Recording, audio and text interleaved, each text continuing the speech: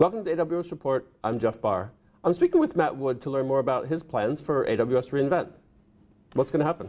So I'm running a track on uh, data analytics, big data, and high performance computing. All the really juicy stuff. All the great stuff. So we're going to be talking to customers. We're going to have AWS engineers uh, coming along and talking about how you can use data uh, on the Amazon Web Services platform to drive greater insight into your organization, uh, to run machine learning, to do recommendation engines, all the great stuff that data allows you to do. We're going to be diving deep onto some of those topics uh, at AWS reInvent. Are you going to have some of our customers there?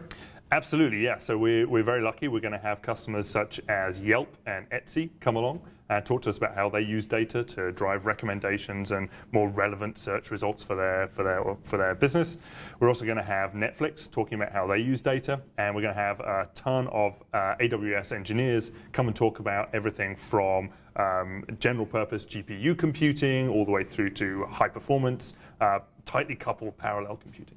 Will there be, if I'm brand new to the whole concept of big data, will I be able to start from the beginning and ramp myself up a bit? Absolutely. So we have a really broad range of levels of topics. Uh, so we have um, some introductory topics, which are very gently introduce the concepts of big data and data analytics using things like uh, DynamoDB and Amazon Elastic MapReduce, all the way through to more hardcore topics uh, where we're going to dive deep onto CUDA on NVIDIA GPUs. Now, will this both be the commercial side and the, the scientific and research side? Yeah, absolutely, yes. So we'll, we'll have a ton of sessions focusing on how you can use data to differentiate and get to market more quickly.